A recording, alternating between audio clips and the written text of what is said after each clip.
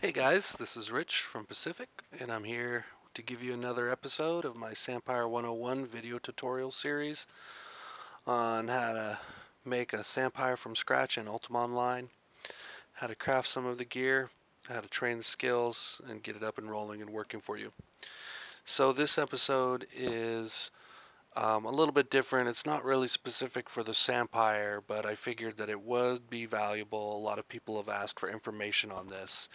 So I'm going to cover how to get 100% elemental weapons, which are pretty much the new thing that most most melee or dexter characters are using.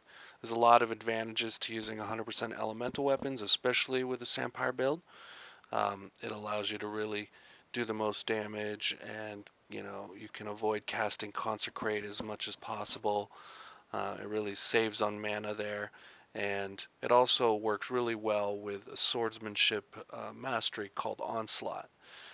So in this video I'm going to show you how to make them, how to get the materials to make them, and all that good stuff. So if you guys like this and want more of this kind of thing, like and subscribe.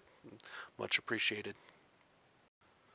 Alright, so in this video I'm going to be talking about 100% elemental damage weapons in Ultima Online um, and why you might want to use them and how you're going to craft them from scratch. So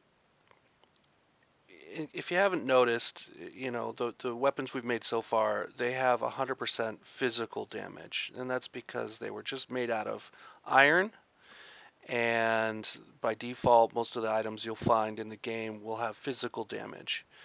But what's interesting is that you can get elemental weapons, such as this axe that has 100% fire damage, or this set of kama that has 100% uh, energy damage, or this Daisho that has 100% cold. Um, so this is super useful with your Sampire or pretty much any melee uh, weapon user because if you can match the damage type that your weapon has with the weakest uh, resistance of the enemy you're fighting, you're going to do more damage over time. You're going to have to use consecrate less or not at all. Um, and so these are just uh, great boons. Plus, especially with the swordsmanship uh, mastery, there's a mastery called Onslaught, which will take the elemental type of weapon you're using and lower your enemy's resistance to that elemental type. Now that the mastery doesn't actually require it to be 100%. It just requires it uses the the like the highest elemental type. So if it was 70 30, it would use the 70 and lower your target's uh, resistance in the 70% uh, uh, elemental damage type. But we're going to focus on how to get 100% out of crafted weapons. You can see here's a poison. Um, this is not just for axes. I, am going to be making axes for our Sampire, but um, you can make bows and kama and pretty much any craftable weapon that has a runic tool associated with it. So to do that, to make these weapons, we're going to be using runic reforging. So you can see it says reforged miner. Um, and I'm going to show you that process. Uh, so for for metal weapons, you're going to want to basically use the Shadow Runic Hammer. Is you'll get the best results out of this. Now it is possible to also use um, dull copper runic hammers. They won't ever give you 100% on the roll, but what they may give you is like 80-20 or 70-30 and I'll show you later in this video where you can take those types of weapons and then enhance them. Um, and it is risky because enhancing fails a lot and when it fails it, it destroys the item. Um, but you know we're going to be making a lot of them and I'll show you how you can get 100% out of dull copper runic hammers um, but the main focus is going to be what I would recommend is using shadow runic hammers Okay, so we're going to start off with you're first you're gonna need you're gonna need a lot of shadow runic hammers because um, unlike other crafting processes, um, reforging isn't you can't exactly pick what you get. You can kind of focus the properties that you want, but it is still random. So we're not going to be able to say, you know, I'm absolutely going to craft 100% fire if you want to make a fire axe, it may take a lot of tries before you actually get the fire axe. You may get other elemental types. So what I recommend is getting as many charges of Shadow Runic Hammer as you can uh, before you start this process. Um, so to get the Shadow Runic Hammers, the the, you can you can try to buy them. They are kind of expensive. They'll they'll run at least 350k or more. Um, or more on your on my shard. I think they're between 300 and 500k a piece, and that's for I think 30 charges. Um, so that's that's pretty spendy, and you're going to go through probably a couple hundred charges at least before you get a good uh, weapon that you're going to want. So what I like to do is um, just just make them myself or, or get them myself using the BOD system. So um, before you start this process, what I recommend doing is going through and, you know, with a mage or something, go through and mark all of the um, ironworks or blacksmith locations that you can find. So I, I, like to use Vesper, it's my hometown. I use the Fel Vesper sites. I find that um, the bribery costs are a lot less with them. Maybe it's just because I'm aligned with that town, I don't know but you're going to want to basically bribe bods up to a certain level, um, small bods. And so basically any small bod that is of armor type, not weapons, but armor only, can be turned into enough points to create a um, shadow runic hammer. Um, and it just what you're going to do is use the bribery system uh, which I'll show you here in a moment but just to give you an idea you can go to one of the you know basically any blacksmith and you can say um, claim rewards and you can see if we scroll down through that a shadow runic hammer is 550 points that's what we need to get one um, now you may be familiar with this process when we used it to get powder of fortification for 450. So we need a little bit more. Dull copper 500, but 550 is the number we're looking for. Um, now, if you end up with small bods that are more than 550 and that are at least 650, what I recommend doing is getting the copper runic hammers instead, um, and then saving them for another reforging project because copper is a valuable hammer for other reforging um, processes, but and you know just save that bod for something else. So 550 is what we want. So anything between 550 and you know 625, um, we're going to turn into a shadow runic hammer. Now to give you an idea, the bods that can do that, I could take a exceptional 10 piece chainmail, like a t- t- exceptional 10 piece uh, of any armor type, and bribe it up to Verite, which is the second highest uh, um, ingot type, and you can see that, okay, well that's 710 points, so I'm not even going to use that exceptional. However, if I take um, 20 exceptional copper, that gives me 550 points. So if you have an exceptional 20 piece, you can bribe it up to copper, and that's just enough points to get you a shadow runic. Um, so I, I, like to use like items that are not as expensive on ingots.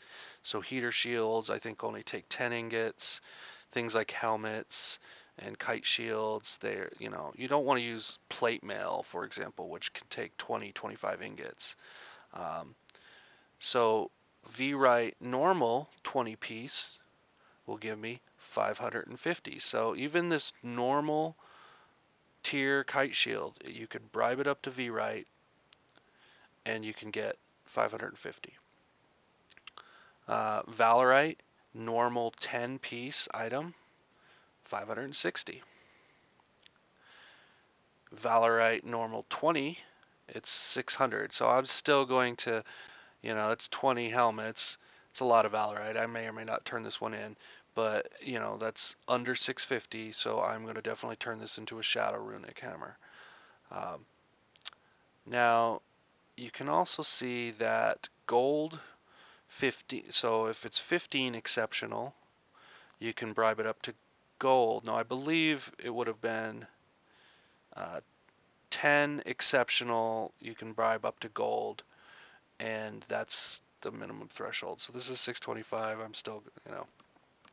So you know, if you you got to collect a lot of the bods, it, it help it helps to have at least, um, you know, if you don't know how to do bods, this won't really be a fully inclusive video about them. But my suggestion is is to take at least 0.1 skill in every crafting. Uh, skill there is on any of your alternate tunes, especially your crafter. And as long as you have at least 0.1, you can get bods. Now they might not be the best, but as you can see, we don't really need the best. We just need, you know, uh, either exceptional or normal pieces, and then we need a little bit of gold to do some bribing. Uh, now the bribing process is a little bit like this. You'll go to these and you'll say bribe, and he's saying, "Oh no, my business is being watched. I can't do it right now." So let's let's find a different um, a different bribe. We'll go to uh, Skara Brae Smith.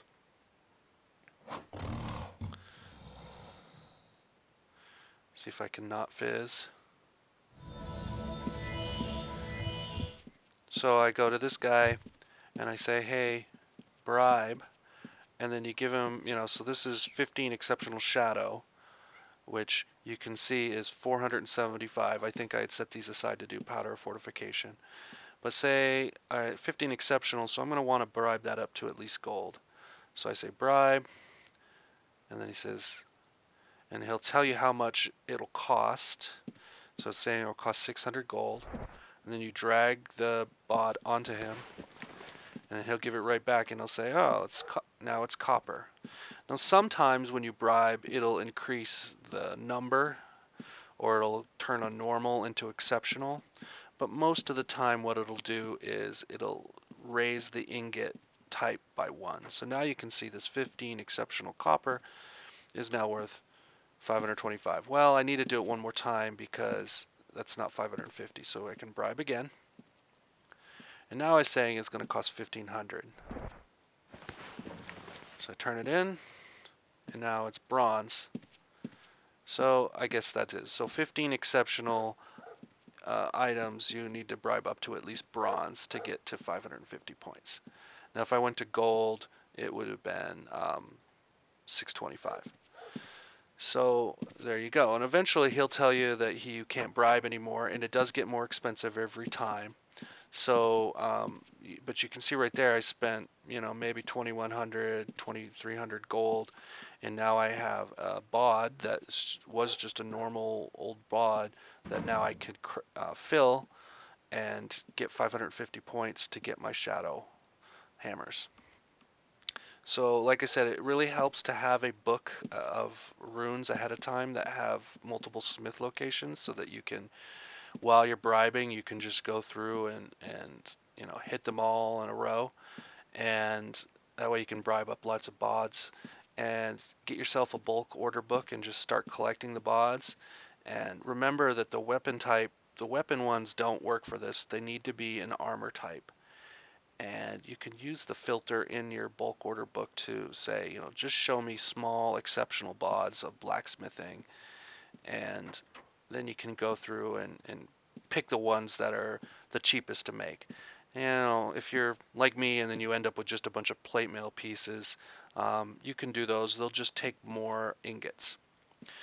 So I'm going to show you the best way to get colored ingots. Now you can mine, but um, the technique that I use, it does take a little bit of um, setup and will require a different character. But if you're wondering the best way to get Verite and Valorite and all the top end ingots, I'll show you now. Alright, so the best way that I know to get the high level ingots and crafting materials is to actually use um, the High Seas expansion. And so what you want to do is you want to find these kind of rich merchant ships that sail around in certain seas. So I I usually hunt, um, you know, in this vicinity, just uh, uh, east of uh, Jhelom, in this whole sea area. You usually can find pirates and these merchant ships. And what you do is you don't even really have to fight them. You just you just shoot them with your cannon until they get scuttled. And um, you know, you look for the ones that have these kind of rare wood uh, chests or some of these decorative boxes. And if you look in here, they will have usually carry quite a bit of Valorite, Agapite, and Verite. So you can loot all of this. It's not a negative karma thing. They don't fight back.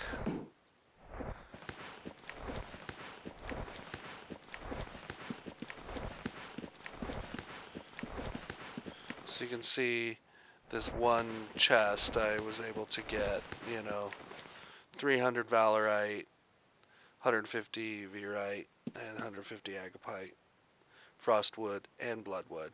Not to mention, you know, a bunch of barbed leather and these cargoes from the high sea stuff. So it's definitely worth doing. Um, it takes a little bit. You know, I'm not going to really go into detail about about this. I am making another video on my high speed, uh, my high seas pirate build. Um, but I'll save that for another time. But just keep in mind that um, you know you do want to get yourself an orc ship if you're going to farm here. They do the most damage. The cannons do, and um, you don't even really have to fight these guys. You can just loot them get all of the Valorite, Verite, Agapite, and rare ingots and boards that you want. So that's how I get it. Alright, so now that we have a bunch of uh, colored ingots um, of different types, so I've got some Valerite, some Virite, some copper, some bronze, some shadow, and some gold. So generally an agapite. So generally, you know, you're going to want to use all these. Dull copper and iron, you're not going to use a lot of these for filling these kinds of bods because they're not worth enough points. So, you know, once you get enough, um, you can kind of figure out how much you need based on what bod you have. So I'll show you real quick how to fill one of these in case you haven't done it. What you're going to do is say, look, we're going to fill 20 copper heater shields. So um, you just want to make sure that you go in, select copper, and heater shield is 18 ingots, so it's actually more than I thought. Um, make sure your your um, success chance is 100%, um, and it does need to be exceptional. So make sure your exceptional chance is 100%. You don't want to really waste any. Um, if you are doing this with like plate mail or something, uh, bods, you want to use the ancient smith hammer. Um, you know that's probably the good reason to use those charges is filling these kinds of bods. Um, I'm going to use a smithing press because it's convenient and I don't have to worry about charges on my hammer. So you're going to go ahead and say make number. And oh, just just a, a helpful hint on this. When you're doing bods, put the ingots in a bag. So I put it in the salvage bag, but you go ahead and just put it on any bag. And then when you make them, you say make 20.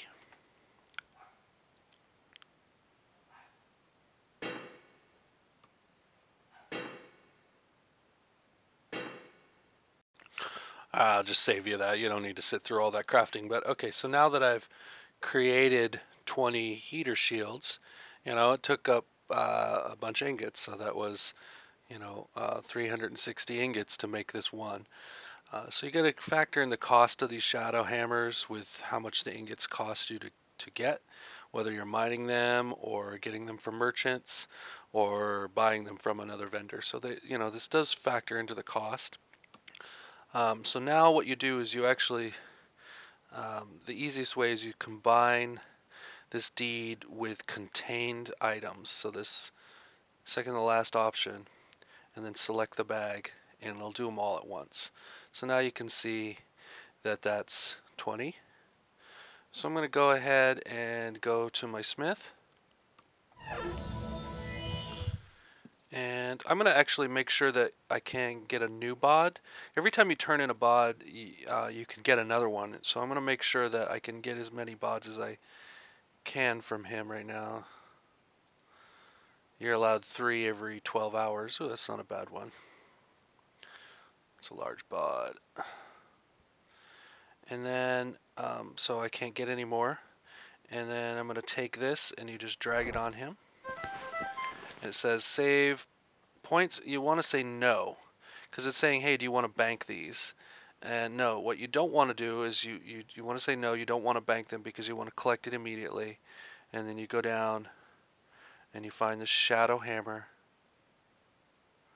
and you turn it in and say yes and they start with 45 charges so that's actually pretty good um, so I'm going to go ahead and finish off I'm going to get a whole bunch of these uh, one thing I will show you before is you can combine these so um, if I go back to the you need to be near Soul Forge in order to do this but you can double click one and then click another hammer and it'll combine them into one. And you can have a max of 100 charges on one hammer.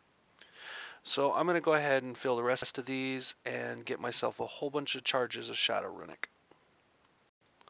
Alright, so I filled in a bunch of bods and um, I got several charges and now I've got about 270 left here and I, I made a few already. But I'm going to show you this process. So now once you get your Shadow Runic hammers, um, what you're going to do is we're going to have to craft, craft the metal item out of iron that we want to reforge.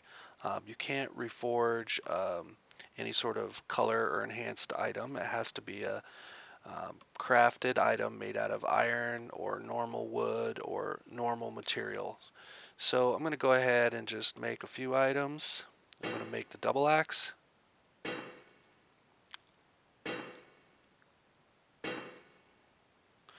We'll go ahead and make several. Um, probably start off with like 10, 10, 15, something like that, and put them in your main pack because you need them in your main pack in order to be able to do the reforge. Um, so now that I have those items, what you want to do is make sure you stand near Soul Forge. And now oh, sorry, to point out, I did not craft these items with the with the hammers. What I did is I crafted them using a standard smith hammer or my smithing press out of iron. So they didn't didn't take any charges by just crafting these.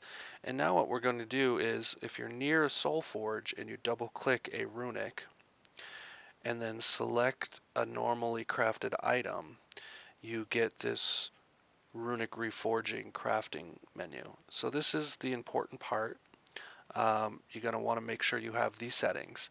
Um, Grand Artifice, and then Inspired Artifice, and then under the choose name, you're going to want to make sure that you choose Exquisite of Quality. Now this is the one that's going to get you elemental damage. Now it also does have, this particular name does have other properties and you'll see through the process that you'll get a lot of them with properties you don't want. Uh, so you just kind of could do it one at a time and just check. Um, sometimes you can get items that have partial properties that you want. So like see these ones I made earlier, they had they didn't they had elemental damage but they're not complete. So they're 80-20 with mage weapon or 80-20 with self-repair. Now self-repair is okay um, because it when you imbue this, it will go away. So this is actually a pretty decent training weapon. Um, but some of these other ones like 70 fire, I could enhance these to make them 100%. So I'll try that later in our experiment. And I did make one 100% energy damage. So I'm going to go ahead and do that. Um, I'm going to go through this process and we'll make some more. We'll see if we can get fire and maybe a cold. Um, now I've found that like one out of 20, one out of 30 chances to really get one. Um, so remember to use these settings. Grand Artifice, Inspired Artifice with Inquisitive Quality, and then make sure that Powerful Reforging is selected. Uh, it should take a total of four charges per try. So that's why you need a lot of shadow hammers. So go ahead and then hit reforge and then look and it added durability. So I'm going to go ahead and immediately put it into my bag here and I'm going to try again. Look, mage weapon, nope. And you can see, ooh, so we got fire damage of 90% and hit lower attack 20. Eh, well, I don't really want that, but we'll use it for experimenting later. Mage weapon. And there we go. 100% energy damage with no other properties. So that's two energy wax axes I have now. So notice that it has just damage increase and 100% energy. Now it is random. So, you know, if you're going for fire, you're going to have to basically go through and keep doing it until you get fire.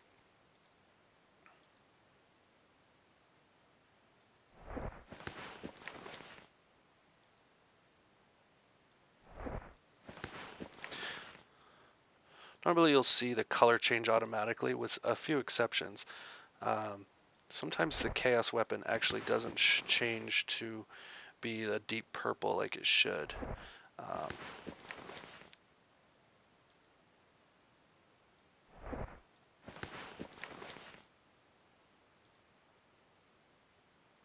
see, like that's a good example. That's a 100% chaos weapon. So you make sure you, you do take a look. 100% chaos weapon with 40%, so that's perfect. It's a good weapon.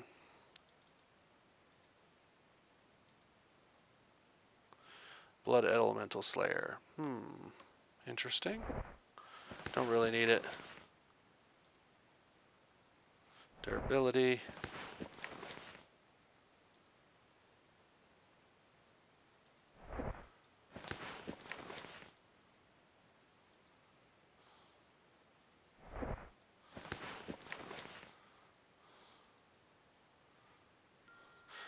Alright, so you can see um, out of that batch I got two two axes out of that and I used, I don't know, whatever 40 charges. Um, so, you know, you're going to keep going until you get the elemental you want.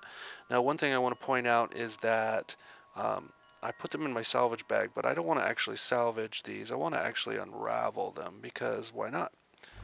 Um, I'd rather take the residue than the ingots. So there we go. Um, so I'm going to go ahead and, oh, here's one more I didn't do yet.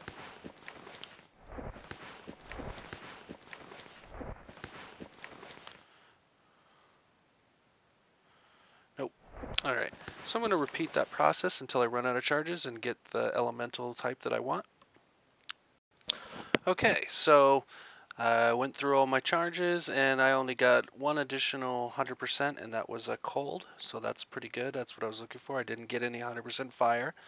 So out of, uh, I guess was about 400 charges that I ended up with, I had two elementals uh, or energy and one chaos and one cold. So, you know, about one axe per 100 charges, which is you know, I guess it's about right.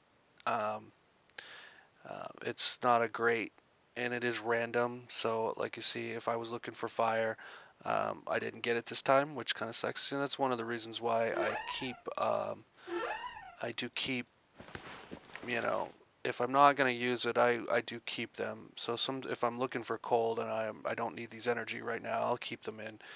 So um, you know, it's good to have them handy in case you do want to make um, a particular energy. So if I wanted fire, I could use, I have one that I've already made. Um, so that's that's pretty much it. That's the process. You get the idea. Now I did say that I was going to show you um, the way using either dull copper hammers or um, one of the things, even with the shadow, I got a lot of these that were partial. So you can see this one is, you know, 70% fire, 30 physical and this one is 70 energy and so poison partial and there was a couple of them that were partial chaos so the ones with poison and chaos um, I'm not going to really do anything. There's nothing I can really do. I can't make poison to be 100% or chaos be 100%. There's no, there's no um, material type that will do that. But some of these, like, uh, so chaos, no, I'm going to just go ahead and dump that. Some of these, like, um, this 70% fire, so all of these fire ones, there's a chance that I could enhance these using, I believe it's bronze. So let me let me take a look. I'm gonna look it up here.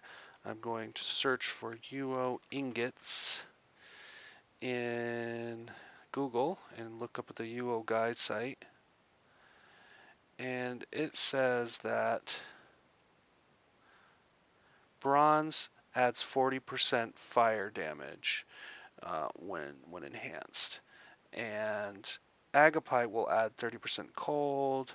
Verite will add 20% uh, energy, and so does copper. So if you see what I mean, um, so this one's 70% energy, and the most I could enhance would be an additional 20%. So you need at least 80 energy in order for me to get 100% weapon. So I'm going to go ahead and dump that. This one's same deal, 70%. I'm going to dump that. Now this one's 90% energy. I can actually do that potentially, and then 70% energy. So out of all of these, there's four of these items that I could potentially enhance to make 100%. Um, now this one has lower requirements. I don't really want that, but I'll show you the process anyway. Um, and the fact of the matter is, is that enhancing is um, is is it rarely works. It's very rare that it actually works. So I'm going to go ahead and add some bronze. And what was energy? What did we want to try energy? We say copper. Where was my copper? There we go. Now, with enhancing, it's kind of one of those things where um, there's a lot of superstition around it. It is super random. I'm going to just make sure that I'm, I'm holding my Ash 60 so that I have the highest level blacksmithing I can. I'm going to make sure my blacksmithing um, bonus is, is there. And I'm actually going to use a charge. It doesn't use a charge, but I'm going to click my Ash and I'm going to select, let's try the elemental one first. So we selected copper, and now I'm going to say enhance. Now you can see it says your chance book fail catastrophically, the item is lost, and it disappeared. So that is super common with enhancing. It does it all the time. The only way to avoid that is to use what they call a forged metal of artifacts. Um, and I'm not going to waste these. That's kind of a pay item that you can get from the UO store, so I'm not going to waste that on this. Um, not on a crafted initial enhance. I, I would use this later if I knew that I wanted the enhance to uh, succeed after I'd already imbued it. But we're not going to do that for these. Um, so let's go ahead and change to bronze and see if we can get 100% fire. So now we're going to enhance. And look at that. So as you can see, we were able to actually roll, um, oh, it, it didn't reflect at first, but see now by enhancing that item, it succeeded. And since bronze adds 40% fire and it already had 70% fire when it went over 100 and therefore took the 100 as it. So I enhanced that one to get my fire damage. Now you can do this using so the reason why that's important is that say you have a whole bunch of dull copper hammers, like I do, I have a whole bunch of charges. With dull copper, you can go through and do the exact same thing we did with shadow, but you'll never get 100% of the regular roll. But there's a good ch chance you will get those partial ones like these, you know, where they're at least 70 fire resist. So, um, you know, that might be a good option if you don't have any shadow and you have a bunch of dull copper laying around. Uh, let's go ahead and see if these other ones work. Look at that, that one worked too. So you kind of have to move it and then we'll take it. And now we have a fire damage, and of course it has hit life leech, which I don't really want on these weapons, but I'm gonna go ahead and keep it anyway. And we'll try this last one. and of course that one worked as well. So That one has hit lower attack. Again, it's not something I want, but at least it's 100 fire damage. So there you go. That's how we craft 100% elemental damage weapons um, using runic reforging. You can see I was able to get energy, chaos. Uh, in case you're wondering, um, I don't know if we talked about this or not, but chaos is a great uh, elemental type when you're fighting uh, a non on the roof encounter. So you definitely want to get one of these if you plan on uh, being a Sampire on the roof. Um, cold is great also for the roof uh, for demons and um, dragons. So that's a great cold damage weapons are great to have. Fire is great for um, undead and a few other things. So energy, I'm not really sure. I think energy is great against um, maybe lesser reptiles. I don't know. I have to look it up.